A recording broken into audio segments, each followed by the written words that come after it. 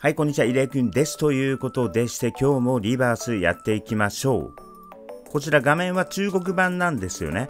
中国版は今、バージョン1.4です。で、日本はまだ1.0、もうすぐ1.1が来ます。バージョン1.4になると、新キャラもいっぱい増えて、例えば、えー、1.0で強かったキャラが、えーって、なんでちょっと落ちてないっていうキャラもいるかもしれない。逆に1.0では弱かったのに、うーんと、1.4になったら強くなってるキャラもいるかもしれない。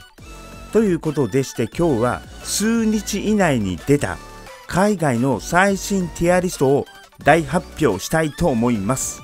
はい、それでは今から何個かティアリストを表示するんですが、自分がね、育成してるキャラが下の方にいてもね、育成やめたとかやめてくださいね。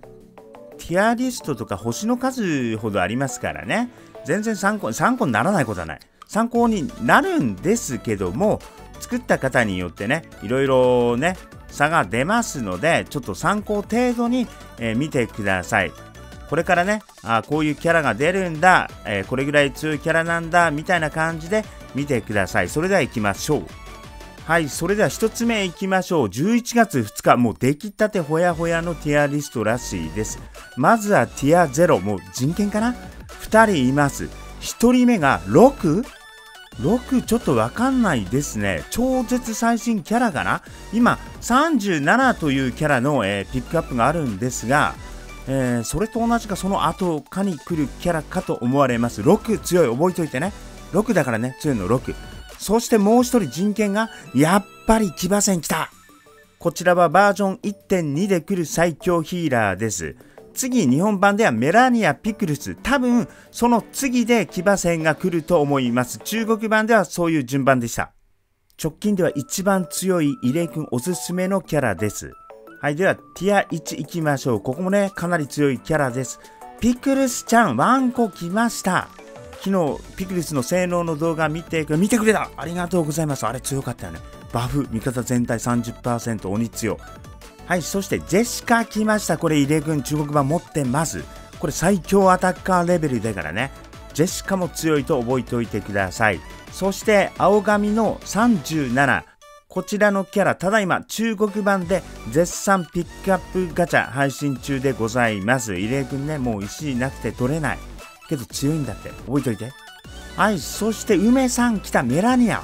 やっぱり強いんだ。けど無課金でここメラニア引いちゃうと騎馬戦が取れなくなるかもしれないからね。そこら辺はね皆さん考えてガチャを引いてください。はいそしてセンチュリオン。これ初期組ではやっぱりねメインアタッカーとしてはセンチュリオンガチで強いんだって。でもこれピックアップないから皆さん持ってないでしょ。持ってる! Lucky boy!あなた lucky boy よ!ですので、センチュリオンいる人は、えー、メラニア特にいらないからね。まあ、いらないことはないんだけど、えー、メンタルとリアルダメージだから、いらないことはないんだけど、獣属性で、えー、センチュリオンとメラニアが被ってるので、センチュリオン持ってたら無課金の方はね、えー、かなりの高確率で引かない方が、入江君はいいと思います。はい、それでは tier 2いきますよ。まだまだ強いからね、ティア2。はい、えー、この一番左の神系みたいなキャラクター。英語名ではシャーマネとなっております。こちら男性のサポートキャラです。バージョン1.3で来ます。はい、そして右側。こちらもバージョン1.3で来る、えー、岩属性のアタッカーですね。ライバルとしてはエターニティになります。これ結構強いって言うんですが T2 ですかね。まあ、まあこれも結構強いと言われております。そしてリーリアまだまだ使えます。ナイトもまだまだ強い。そしてリー・アンアンちゃん、エターニティ。そして星5エースのコーンちゃんもティア2にいます。はい、そしてティア3、えー、いや、サザビティア3はないでしょう。騎馬戦が強すぎるからいけないんだって。ティア3はないとね、僕は思います。そしてドルービス？これ石化でめちゃくちゃ強いでしょ。ティア3はないよね。はい、そしてレグルス。あの、レグルスはね、これちょっと個人的な、イレクが見てきた、あの、ティアリストね。1万枚ぐらいティアリストを見てきたんですが、レギルスは大体ちょっと星6の中では下の方になってますよね。もちろん、あの、かわすのはすごいんですが、やっぱりね、ちょっと下の方になってます、いつも。そしてメディスンポケット、ボイチャー、ボイチャーもね、大体のティアリストはちょっと下になっております。はい、そして星5のヒーラー、バルーンちゃん、次のピックアップ、これ、バルーンちゃんピックアップもあるので、ぜひね、引いてください。そして、星5チャーリー、サイカワ、星5最強アタッカーとして頑張っております。はい、そしてティア4、出ました大体ね、どこのティアリストでもこのニューバベルちゃんがね、一番下になってます。けどこのニューバベル偶然ね、ガチャで引いたので、がっつり育成して、強いぞというところをね、動画でお見せしますので、お楽しみください。はい、それでは2枚目のティアリストいきましょう。10月31、これもこの前です。えー、ティア0人権がやっぱり来ません。そしてジェシカ、やっぱり強いのはこの2人なんだって。ほんとこの2人強いの。覚えておいてください。はい、そして tier 1。あー、ここいっぱいいますね。皆さん育成してるキャラ入ってる？リーディア、いますよ。サザビー、ほら。サザビーとメディスンポケット、やっぱり強いね。そしてケントリオンとメラニアの、えー、獣コンビ。ここバチバチだね。さっきも、えー、同じランクでした。はい、他には、えー、初期組ではエターニティ、リー・アンアンちゃんがいます。はい、そして tier 2はワンワン、えー、23日来ます。ドルービス。ドルービスさっきティア3だったかな。やっぱりいまいちなんですかね。1.4以降では。そしてボイジャーはね、やっぱりね、ちょっと、えー、下がります。はい、そしてナイト、えー、レグルス。レグルスはね、いつもね、大体ね、ちょっと下なんですよね。育成してる方。弱くないからね。はい、そしてニューバベリちゃんがまた再開ちょっとどういうことこれ？俺がっつり育成素材入れちゃったんだけどもう引くに引けないからがっつり育成しますはい次のティアリストです10月31日に出てますティア0俺たちの騎馬戦来たもうやっぱり騎馬戦なんだってこのゲームはもう騎馬戦なのもう騎馬戦取らない人は非国民だからね入れ君中国版持ってないけど日本版でもうこれ絶対取るから皆さんも絶対取った方がいいからね、騎馬戦。もう何が強いかは、また動画にするから。もう騎馬戦絶対取ってください。騎馬戦。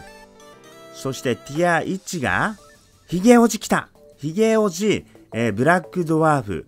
これバージョン1.3コンビかな。これはもう安定して強い。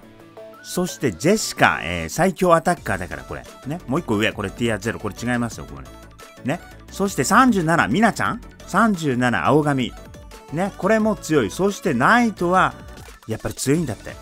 はい、ティア2行きましょう。ワンワンメラニア1.1コンビいます。またメラニアとケントリオンが同じところにいる。これもう獣属性の、えー、アタッカーはこれもう譲らないんだって。同じぐらいの強さと覚えておいてください。これケントリオン持ってない人はメラニア欲しいよね？欲しい。欲しいけど1.2で騎馬戦が来るの。どうする？入江君、ケントリーを持ってないので、ベラニアね、えー、取ります。はい、ティアさん行きましょう。やっぱりドルービスがちょっと低いよね、いつも。そしてレグルスも、えー、低い。で、ボイジャーもいつも低い。大体この3人は、えー、ちょっとね、僕が見たティアリストでは下の方になっております。そしてリーでもいまいち高くないですよね。まあ、ティア2もティア3もそこまで差がないですから、あまり気にしなくてね、いいと思います。そして、ティア4、俺たちのニューバベルちゃんが一人じゃありません。メディスンポケットを引きずり込んでやった。このメディスンポケットも洞察2まではね、サザビーよりは普通に強いと思うんですけどね、まあ、このティアリストではティア4となっております。はい、以上になります。まあ、いろいろね、ティアリストあるので、参考程度に見てくださいね。自分の育成してるね、例えばニューバベルちゃんがちょっと低かったとか関係ないから。ね、愛情があれば乗り越えられます？乗り越えられる？気持ち乗り越えられるから大丈夫だから。ね、入江君もニューバベル育成してるんだから大丈夫です。でも分かったことは、やっぱり騎馬戦とジェシカは強いから、これ覚えておいて。弱くなったらまたね、皆さんに速報で教えますので、この2人だけはね、ほんと覚えておいてください。本日は動画ご視聴どうもありがとうございました。もしよろしければチャンネル登録、グッドボタンお願いいたします。それでは次回の動画でお会いいたしましょう。